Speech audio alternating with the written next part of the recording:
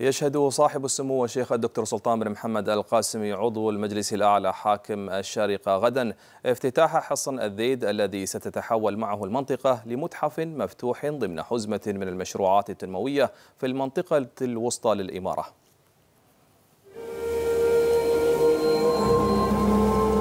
من جديد تعود الأنظار للمنطقة الوسطى وتحديدا لمدينة الذيد ومعها بدأ العد التنازلي لتدشين وجهة سياحية تراثية بيئية. حصن الذيت مشروع تنموي متكامل سيضاف لرصيد المدينة العريقة بتاريخها وبداوتها.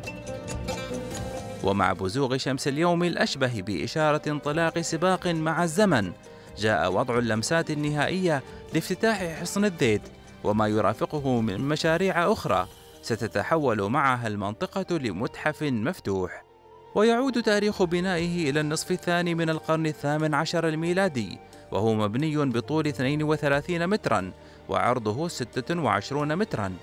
ويضم العديد من الغرف الزاخرة بالكثير من المقتنيات والشواهد ليكون أشبه بنافذة يناظر منها الزوار عالما لم يروه من قبل. يحفظ التاريخ ويصونه للأجيال القادمة.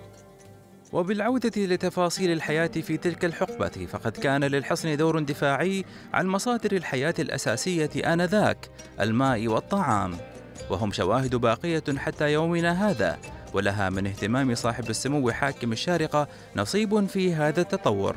فترميم فلج الذيت لم يقتصر على جوف الحصن بل امتد بطول خمسة كيلومترات لتطال الشريعة المارة بالمزارع وكأن الزمن عاد للوراء. وعادت الحياة لأشجار النخيل تلك معها. ومع تدشين المشروع سيتمتع الزوار بسوق الشريعة الجامع لعشرات المحال المتنوعة ما بين مطاعم ومقاهي وأخرى لبيع منتجات أهالي المنطقة. وهو سوق مبني بالكامل من الدعون والأخشاب بتصميم متطور يراعي معايير السلامة والأمان دون تغيير النمط التراثي للبناء بالدعون وهو ذات النمط المبني به السوق المقابل للبوابة الرئيسية للحصن. نمط حياة أهل البادية أمر لم يغب عن المشروع ولم يتوقف عند تصاميم السوق ومحيطه.